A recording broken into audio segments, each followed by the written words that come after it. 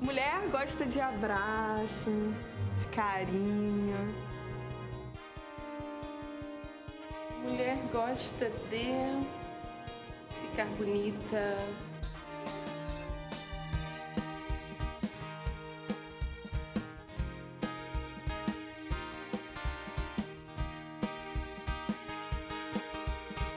A gente quer ser feliz.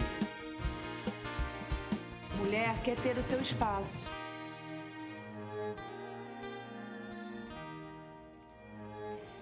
Que bom que estamos numa tarde tão abençoada mais uma vez aqui pela Boas Novas no Espaço Feminino.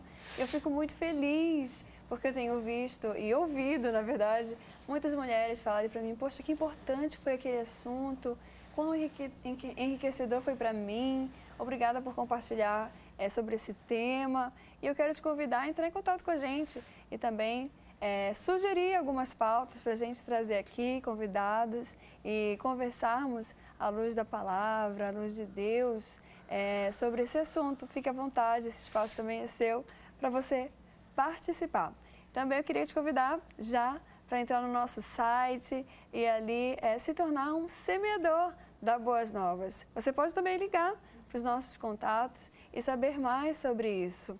Você que quer ajudar e fazer parte da Boas Novas. Às vezes a gente fica perguntando em casa, poxa, eu queria fazer alguma coisa para abençoar alguém e saiba que através da Boas Novas você também pode ser um canal de bênção, porque você nos ajuda a manter essa rede que é, vai a tantos lares, entre hospitais, entra em presídios e gera paz, gera amor, gera alegria a muitas vidas. Então faça parte com o que você puder e principalmente com a sua oração. Nós contamos também com a oração de todos, porque eu creio que a oração pode muito em seus efeitos. Eu quero apresentar o tema de hoje. Nós vamos falar sobre como lidar com rejeição. E para bater esse papo, comigo está aqui a Priscila Crispim, que é psicóloga. Obrigada pela sua presença. Eu agradeço mais uma vez o convite. É um prazer estar aqui com vocês. Amém. Deus abençoe. A Alexandra Mello Fernandes também, que é psicóloga. Obrigada. Por nada, eu é que agradeço o convite. Fiquem bem à vontade, viu, para a gente falar sobre esse assunto que é bem interessante, né? Quantas pessoas passam, muitas pessoas passam por esse processo. Quem nunca passou por algum momento, né, que se sentiu rejeitado? E eu acho que vai ser bem enriquecedor. Vamos ter também um artesanato super especial ali já para inspirar o seu Natal com a Andréa Peixoto, que vai fazer uma luminária de PVC. É isso aí. Obrigada pela sua participação. Eu que agradeço bastante. Deus te abençoe. E vamos ter uma música abençoada com a Rafaela é, Breder. Breder. Isso. obrigada também. Fique à vontade para conversar com a gente sobre esse ah, assunto, tá bom? Obrigada a você, Luana. Um prazer estar aqui, um prazer estar com as meninas aqui também. Né? Que Deus abençoe. Amém. Então vamos dar uma pincelada nesse momento. A gente não tem muito tempo para conversar. Daqui a pouquinho a gente vai ter. Mulher gosta de conversar. Mas como é que, é, para lidar, o que é, na verdade, rejeição, para a gente começar falando? Bem, rejeição é um sentimento de desprezo muito forte. E isso tem a ver com, na verdade, com várias questões que podem ocorrer na vida do indivíduo. Uhum. A começar até por uma gravidez indesejada. Uhum. E aí esse sentimento de rejeição, ele pode ficar latente em algum momento da vida.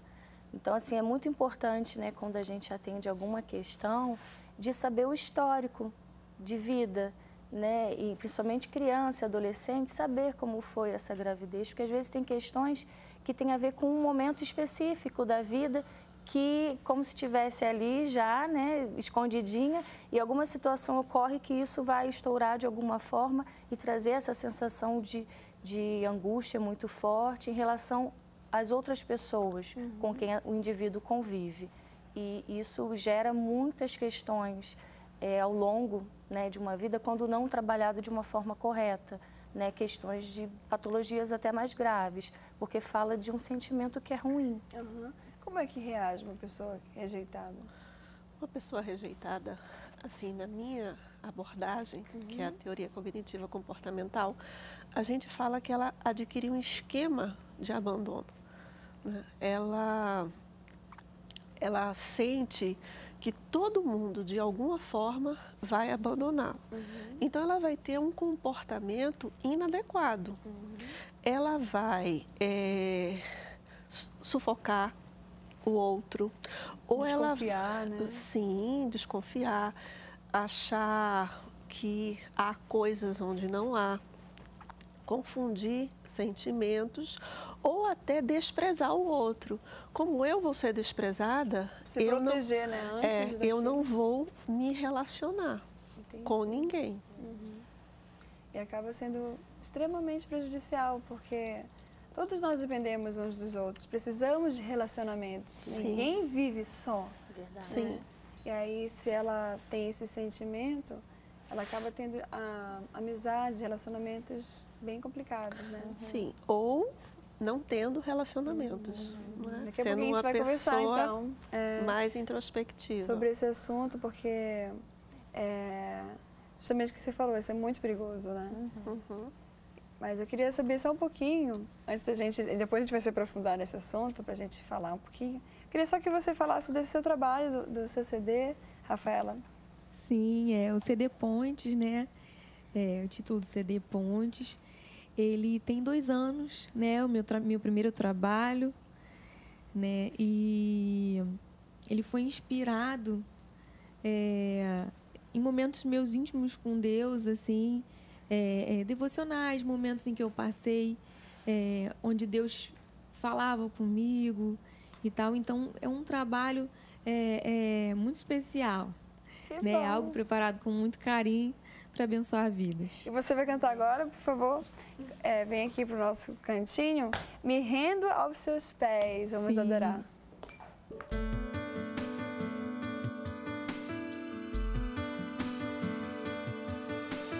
Os problemas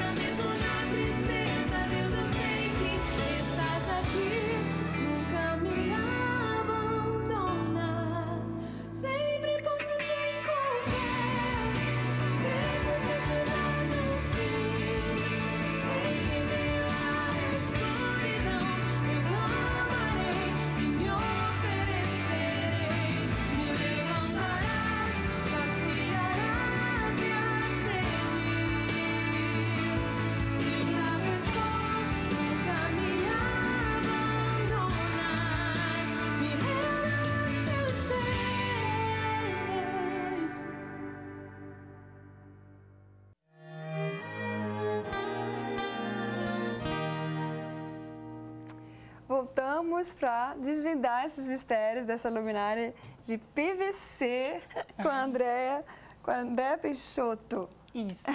Peixoto é um nome muito familiar para mim, que a minha Ah, é? irmã é Peixoto. Ah, legal. Ela casou com o meu cunhado, Bruno Peixoto, e aí se transformou em Peixoto.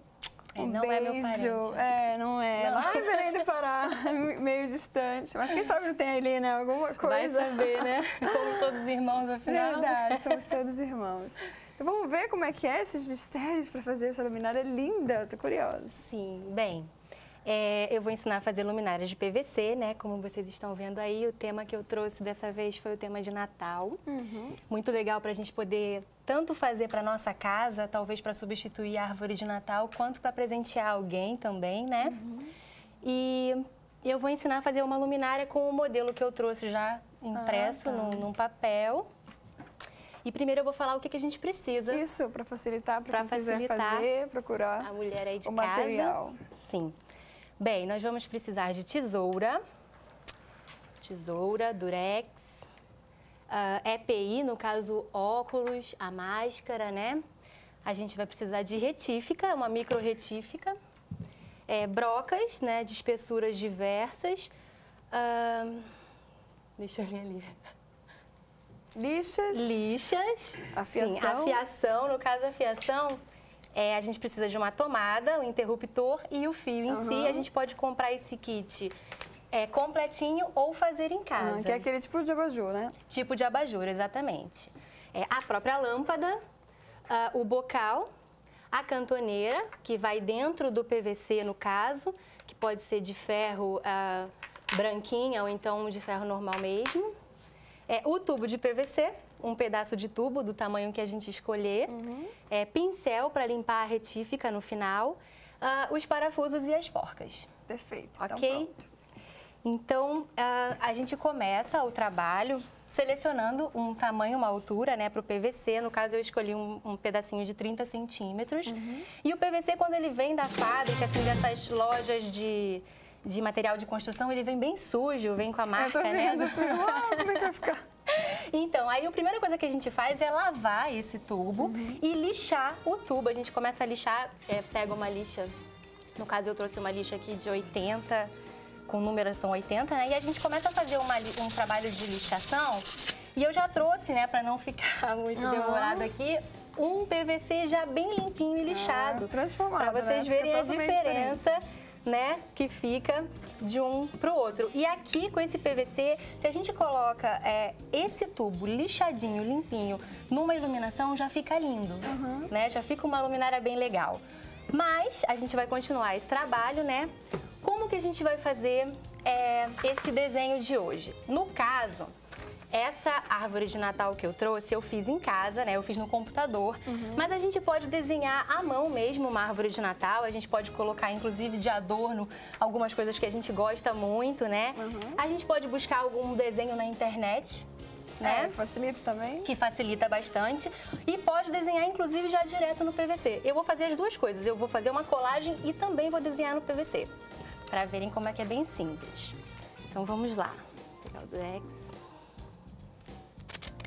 Além da árvore, pode fazer coração, né? Podemos vi fazer coração, é, eu vou arabescos, mostrar. Fica bem bonito também. Fica bem legal. Várias ideias que você trouxe. Pode fazer um Papai Noel, pode fazer velas, né, com esse tema de Natal. É, escrever palavras, né? Escrever Natal. palavras. No caso, eu vou escrever, Jesus inclusive. nasceu. Atrás dessa luminária aqui, eu vou escrever a palavra amor. Uhum. Eu coloquei nessas luminárias de Natal aqui, atrás de cada uma delas, eu coloquei um coraçãozinho, Uhum. representando o amor, né, que o mundo sempre precisa tanto e que cura e que salva todos nós. Verdade. O amor é o resumo da lei. É o resumo da lei. é isso aí. Bem, a gente tem que colar, quando a gente for fazer a colação em casa, colagem no caso, é importante colar bem direitinho o PVC, a- o papel no PVC, para que ele não corra durante o momento que a gente vai estar furando. Né? Aqui eu vou colar mais ou menos, porque eu não vou furar essa luminária toda, só para Exemplificar mesmo. é, só para dona de casa de ter uma casa. ideia em casa. Bem, tá coladinho. Eu gosto de fazer borda, não é necessário, cada um vai escolher é, um motivo, né, um tema para sua luminária, mas eu gosto sempre de colocar um acabamento no PVC. Então, eu peguei um final de tubo de PVC, né, uma ponta de tubo de PVC, cortei e uso isso como molde, que aí fica super simples assim para eu fazer, para eu desenhar aqui, ó, uma linha. Ah, tá. Aí com essa linha, seguindo essa linha aqui, eu faço o acabamento da luminária. É um aro maior que o cano. É, no, no caso ele é do mesmo tamanho do cano, eu Ah, só cortei abriu, ele é, para conseguir abrir. Entendi. Exatamente. O PVC é um material muito gentil de se trabalhar assim. A gente, conforme a gente vai trabalhando, a gente vê como é gostoso fazer esse movimento e como é terapêutico, né? Também é uma ocupação assim super né? saudável, sim. Todo artesanato, qualquer coisa. Até fazer uma comida, um prato especial para Um a família. alimento, exatamente. Aí aqui atrás, eu vou colocar, eu vou escrever a palavra amor, né? A frase, a palavra. Você vai escrever de amor. punho. Eu vou escrever de próprio punho, sim.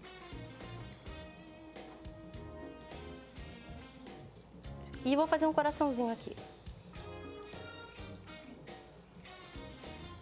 Sai meio tremido. Ah, mas você pode consertar, né? Isso, a Também. gente, é, eu trouxe uma borracha até. Tá mais ou menos. Eu posso colocar fé, eu posso fazer uma oração, escrever aqui atrás, ou escrever na, na própria frente, né, da, da luminária. Isso aí vai da intuição de cada um e do desejo de cada um para esse Natal. Então vamos lá. Aí agora eu vou começar a furar. Tudo bem? É isso que eu quero ver, tô curiosa. Eu vou colocar o EPI, né, no Tem que caso me afastar óculos. ou não? Então, não precisa Causa não, não tem necessidade. Talvez voe uma poeirinha. Ah, mas aí não tem problema.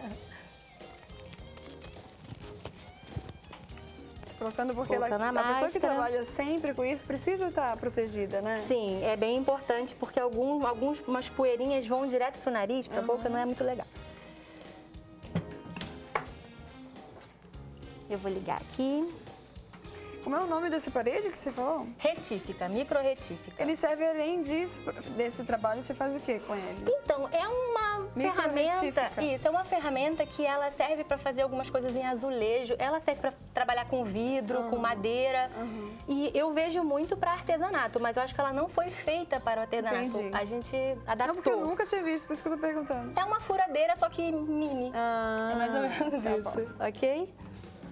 Então vamos lá, eu vou colocar, vou começar a fazer os furos.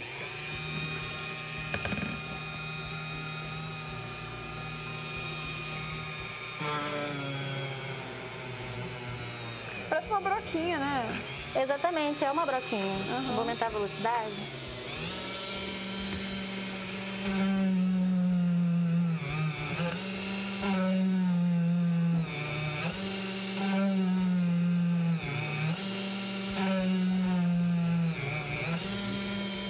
Posso parar? Não, acho que não. Tá bom? Tá bom. Só pra ter uma noção de como você fez aquelas, aqueles furinhos, né? Exatamente, assim, olha. Deixa eu tirar aqui a, a Fica máscara. realmente sujinho. Fica bem sujinho. É, A ideia é ter um avental também. No caso, é, os furos maiores são os mais difíceis de fazer. Não é que seja difícil, mas os mais ah, difíceis, menos fáceis de fazer, são os, os furos mais grossinhos. Os mais finos são super tranquilos de furar. Eu Só trouxe mudar a aqui. ponta. É só mudar a ponta. No caso, para mudar a ponta, a gente tem um mandrilzinho, que é essa ponta aqui, né, do aparelho. E para mudar, a gente utiliza uma outra broca, por exemplo. Quer que eu faça uma furação? Pode fazer. Tá, então eu vou furar essa ponta aqui. No caso, eu utilizo aqui três espessuras diferentes só, para a luminária inteira e faz um efeito super legal. Eu trouxe ela pronta para vocês verem. Deixa eu colocar mais.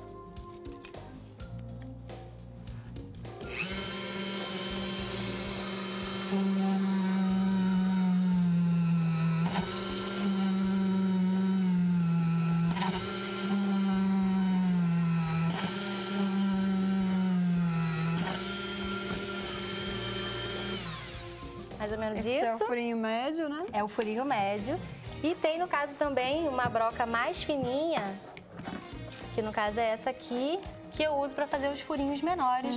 Mas eu acho que já deu para ter uma deu- noção, é, né? noção. É só ir furando, né? Só Então, ir furando, o desenho. Seguindo o desenho, exatamente. Não tem muito mistério, não precisa ter dom, habilidade com artesanato, porque basta você seguir o que foi desenhado. Faz o desenho no papel, se for o caso de um desenho à mão, ou então imprime e depois vai e faz a furação. E aí eu trouxe Aí a vamos pra luminária. montagem, né? É, então, a montagem, no caso, eu não ia fazer aqui. Não, não vai fazer a montagem? Não, eu já fiz um vídeo com a montagem, vocês acham Ah, que é melhor tá. fazer a montagem? Tem o vídeo com a montagem? Não, tem o vídeo do, do programa Ah, tá. anterior. Vamos ver o vídeo, então? Só pra mostrar as, as Não, o luminárias vídeo- que você trouxe, né? O vídeo que a gente trouxe, no caso, é com essas luminárias aqui com a iluminação interativa. Hum. Porque, como é Natal, a gente está utilizando também uma lâmpada com controle remoto que altera as cores da luminária. Então, a gente trouxe um videozinho, no caso, que eu acho que vai passar daqui a pouco, não Tá vai passar agora, agora. tá passando agora. Aí, nesse caso, essa luminária tá com a cor... É diferente? Ah, tá. Isso é uma lâmpada de LED, no caso. Aqui a gente trouxe a lâmpada incandescente, mas essa que tá no VT Ela vai agora. mudando de cor. Ela vai mudando de cor, então dá aquele, aquela Fica mais impressão divertida de. ainda, né? Exatamente, sim.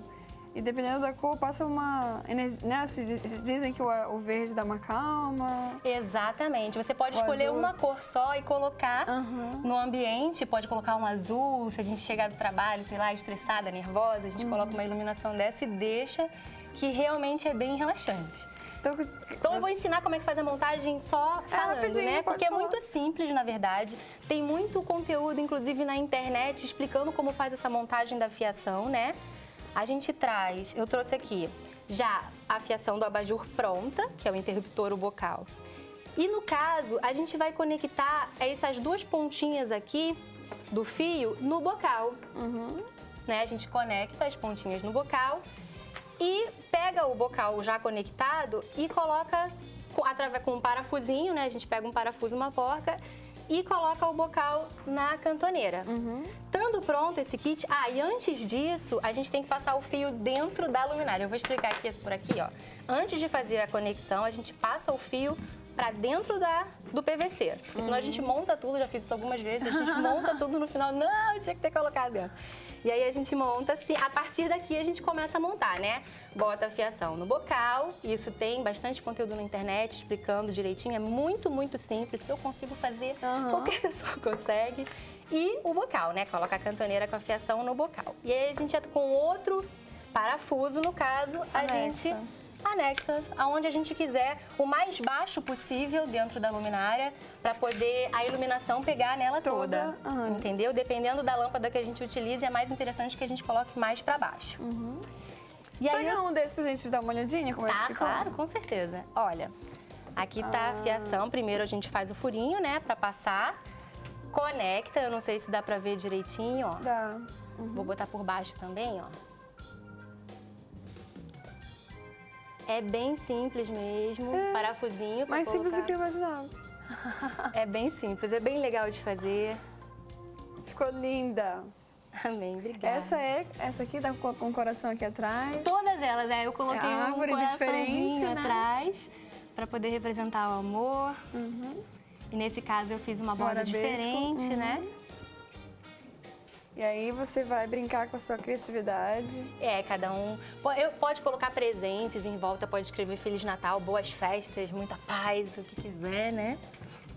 E aqui eu trouxe essa luminária aqui. Essa ideia, né? Que você Essa ideia com o amor escrito melhor atrás, que não tava tremido. gente. Gente, ficou linda. Linda, linda, linda, linda. Olha só.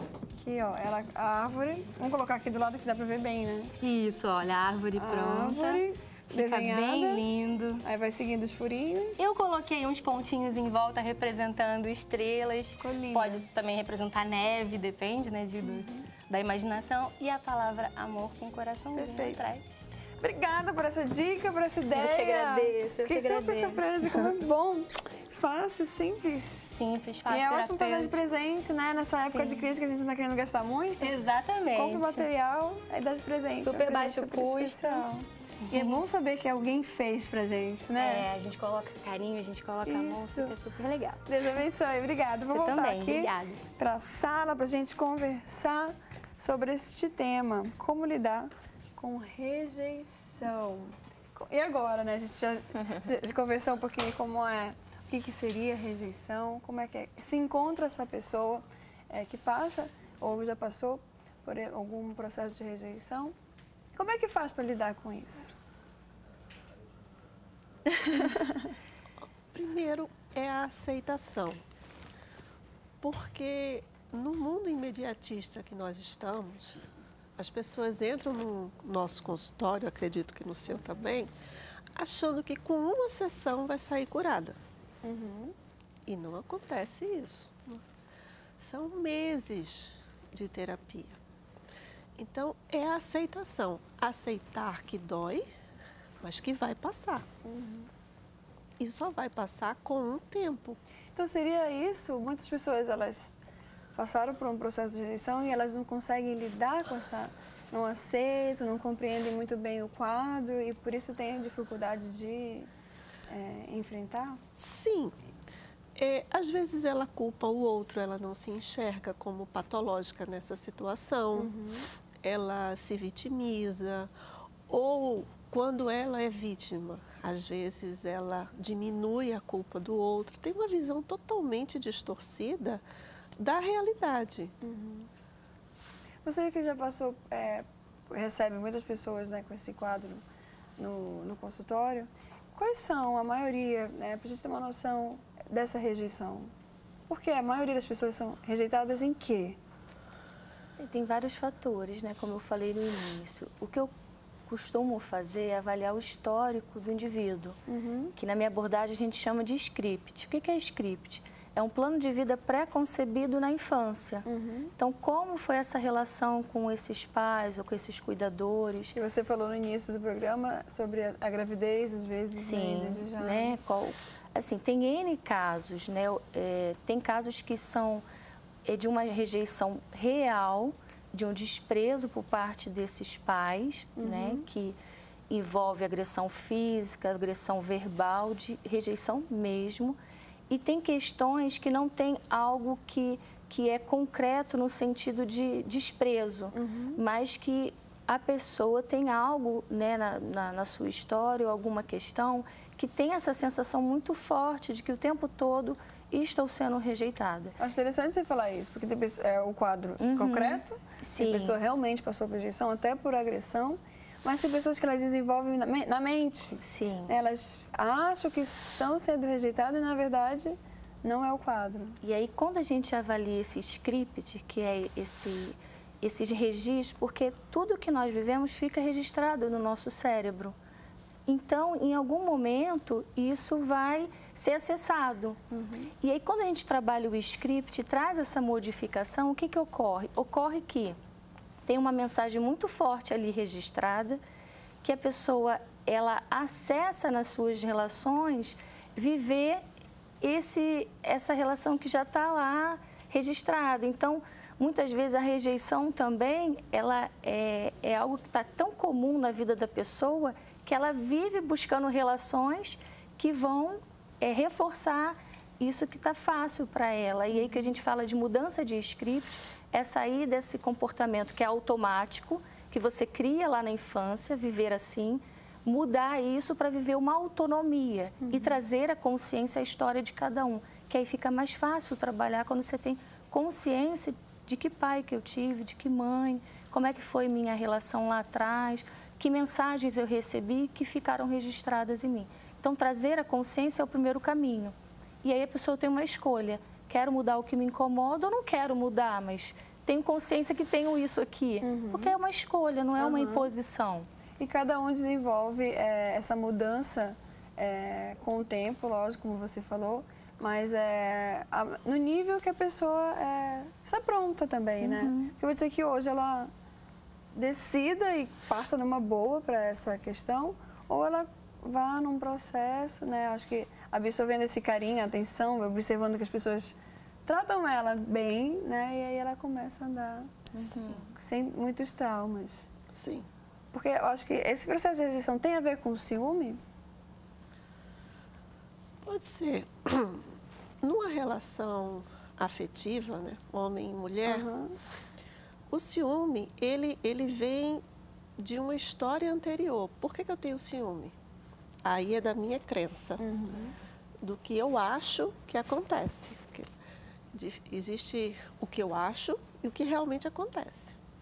E a maioria das pessoas, elas acreditam piamente na crença delas. Uhum, entendi. Então, é, é muito comum de pegar pacientes assim. Eles já entram, no discurso dele, eu atendi uma ontem mesmo que ela estava vendo uma possível traição onde não existia. Não existia. Tudo da criança. Para reforçar aquela coisa que ela falou, para reforçar a minha crença de que eu vou ser abandonada. Eu tenho que reforçar isso, eu te- é porque eu sou sempre a vítima. Também tem aquela vitimização. O tratamento, ele só se dá assim efetivamente quando a pessoa tem essa consciência do jeito que ela falou.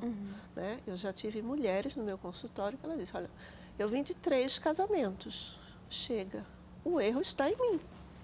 Ela se encontrou, né? Ela Sim. analisou e viu Exatamente, o erro está em mim. nela Em mesma. mim. Como é que três pessoas diferentes têm os mesmos erros? Uhum. Né? E aí, mas são poucas que vêm nesse nível. Geralmente elas vêm no nível da. Não encontro nelas uma razão. Não, porque é uma coisa, é uma verdade absoluta. Uhum. Né? Esse sentimento que nasce na infância, às vezes até uterina, é uma verdade absoluta para ela. Isso realmente acontece. Tá. Entendi. Daqui a pouquinho a gente vai voltar então e conversar mais sobre esse assunto com as nossas convidadas. Deus abençoe.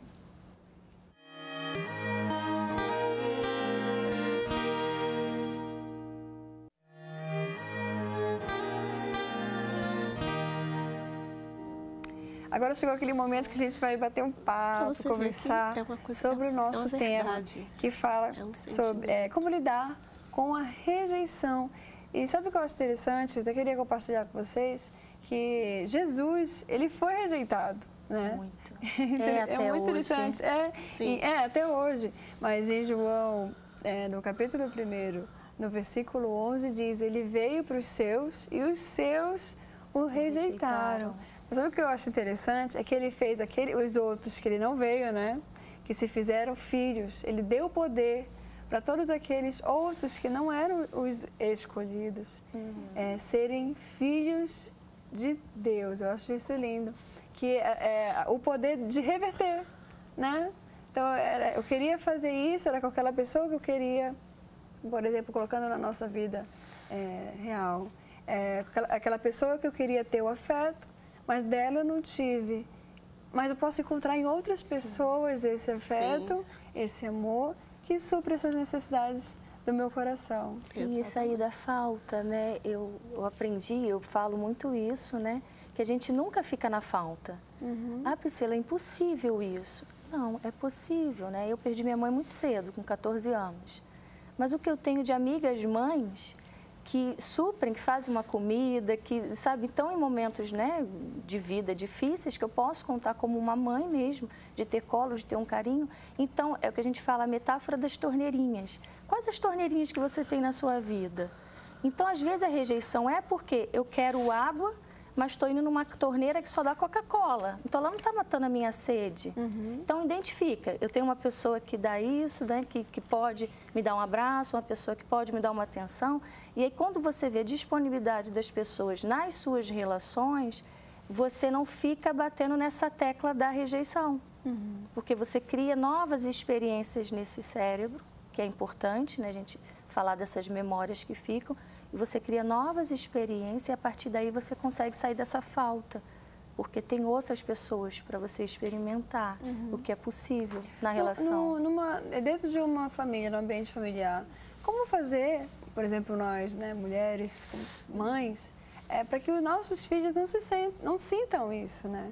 Porque eu já vi famílias de três filhos, por exemplo, que o- dizem, né? Geralmente dizem que o do meio se sente rejeitado, porque o primeiro é o primeiro, o, o terceiro é o caçula, e o do meio fica ali, Sim. né, assim, meio que perdido. Quem eu sou? Onde é que eu estou? Como é que faz? Dentro desse ambiente familiar. é você observar as necessidades de cada um. Porque cada criança ela tem a sua subjetividade. né? Eu tenho duas irmãs e nós não somos iguais. Né? Tem uma que fala muito, tem outra que fala muito pouco, em compensação é muito responsável. Cada um tem uma forma. É respeitar esta forma, porque não adianta dar tudo igual. Às vezes eu não quero igual, às vezes eu quero diferente. Às vezes eu, eu preciso de algo mais pessoal, às vezes eu me contento com um coletivo. Né? Às vezes eu não gosto da escola que as minhas irmãs estudam. Então é olhar. Respeitar essa individualidade, Sim. né? Para que a pessoa seja Cada entendida. um, porque não adianta e não comparar. Mas o seu irmão fez.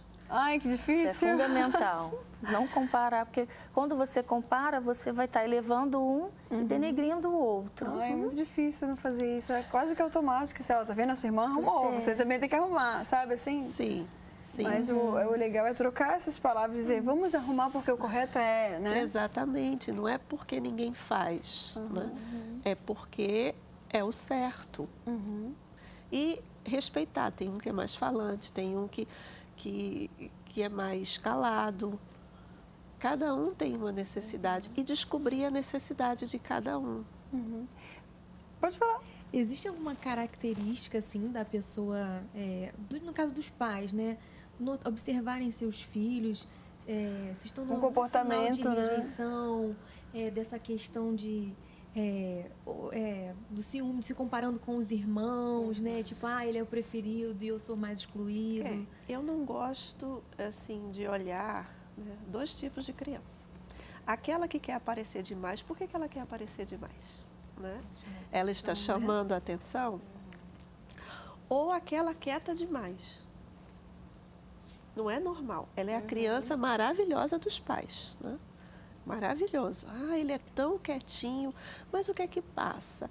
Ontem eu fazendo uma anamnese, e aí a gente volta né, para a infância, aí ela me relatou que ela tinha vários pensamentos suicidas, assim. A mãe foi buscar ela na escola e ela, e se eu correr, e se eu passar na frente do carro? E, e- e calada, e- e, e sem, e sem questionar nada dos, dos pais. Dela, internamente, era uma criança quieta, uma criança, entre aspas, normal aos olhos da sociedade. Mas o que é que passa dentro da cabeça dela? Então eu- eu não go- eu, eu olho com outro um olhar mais clínico esses dois tipos. Aqui é muito quer aparecer, quer ser melhor em tudo, ou aquela que não É abre a como se ela, se ela não fosse melhor em tudo, ela vai ser rejeitada, né? É. Eu tenho que ser melhor porque se eu tenho- não for, não vão gostar de mim. Se eu não for Só assim melhor vão me amar. Tem uma necessidade né, de ter essa atenção o tempo todo. Sim. São os dois. Né? Mas Os cri- extremos. né? Exatamente. A gente vê como a gente nesse diálogo que a gente está conversando aqui, como é importante a família, né? E também o que que a gente tem visto na sociedade hoje, famílias destruídas, ou seja, pai para um Existe. lado, né, mãe, às vezes famílias que só a mãe que criou. Então Uhum. assim, acaba existindo, acho que ainda mais nesse quadro, pessoas com esse sentimento de rejeição. Sim, é mais falta de nunca. tempo de interagir, né? Já Hoje é a mulher rejeição. trabalha muito também, então assim, as crianças ficam às vezes mais na creche, na escola, do que com o núcleo familiar, que é importante, né? De você estar recebendo o afeto, né? Recebendo a atenção. Então, é, eu vi uma vez um- uma, uma palestra, a pessoa disse que infelizmente nós temos crianças órfãs de pais vivos. Como assim? Na, me- na casa, na né? casa, dentro de casa. assim como idosos, enfim, mas não órfãos porque, órfãos porque estão é, num, né, num abrigo, não, Uhum. dentro de casa com o núcleo familiar. Eu vi isso muito claro, assim, uma vez que eu escutei uma moça falar assim mesmo. Eu nunca falei pro meu pai que eu amo ele. Nossa. E ela já tinha, tipo, uns 24 anos. Então isso é muito sério, né?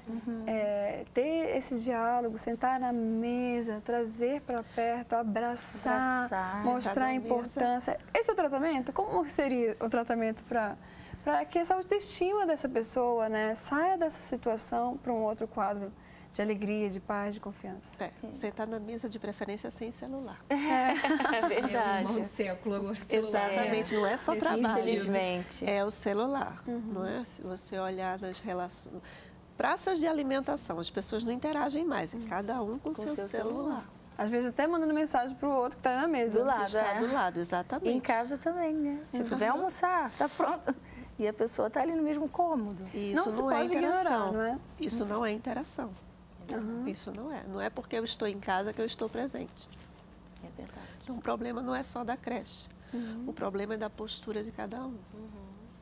Eu vi um vídeo esses dias que eles pegaram dois estranhos e falaram assim mesmo, falando da importância do abraço, né? E dizendo assim, olha, é importante que vocês fiquem 20 segundos abraçados.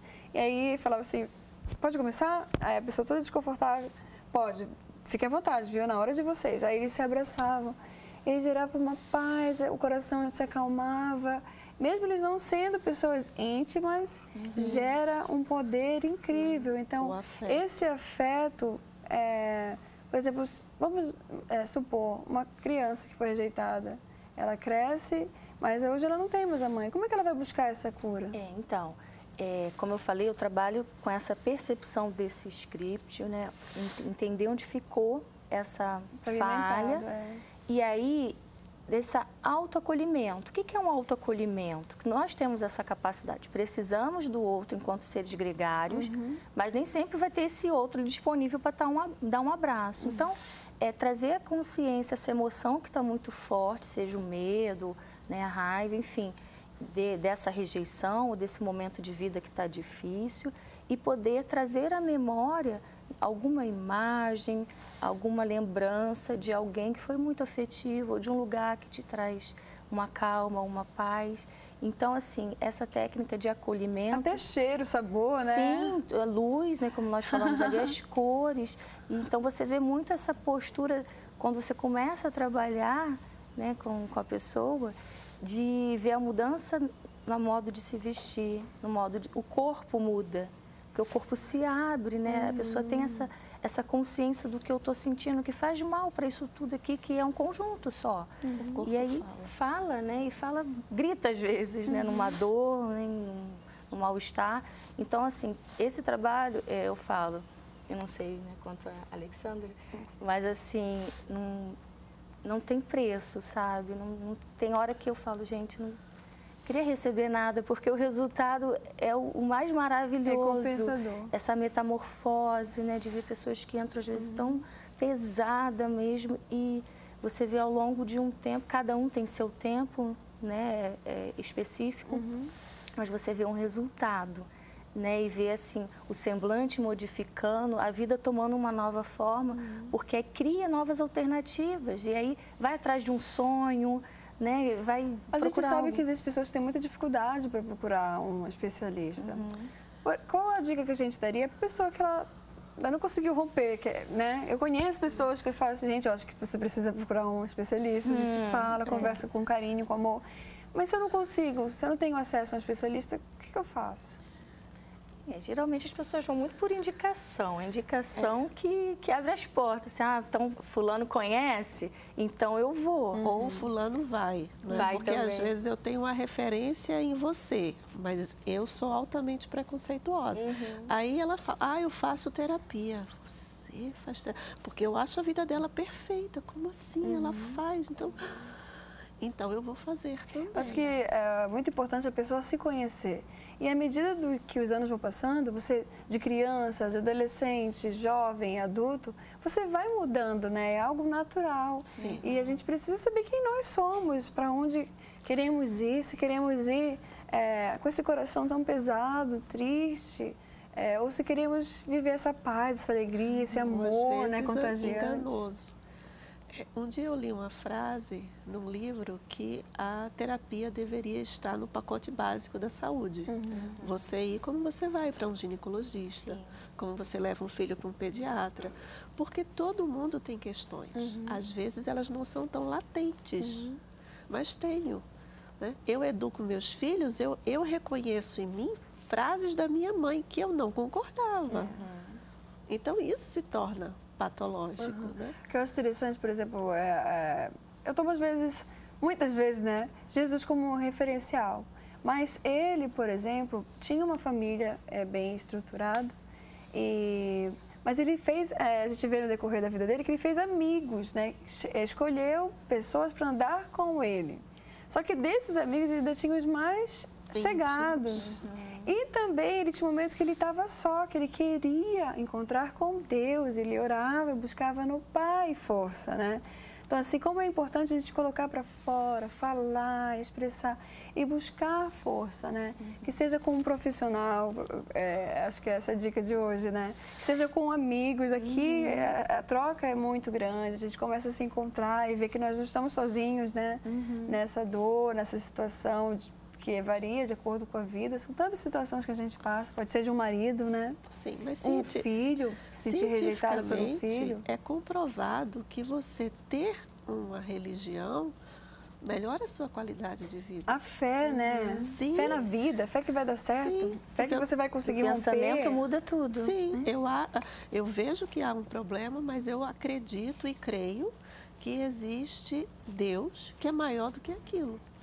Então, É, a fé é muito importante no processo terapêutico. Verdade.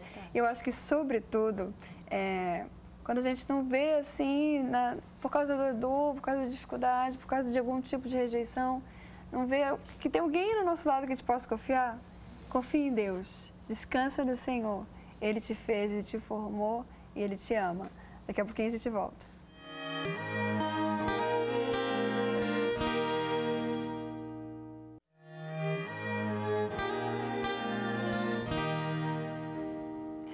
Estamos falando hoje de como lidar, quer dizer, falamos hoje que o programa já acabou, ah, tá acabando. Mas eu quero agradecer, é como lidar com rejeição.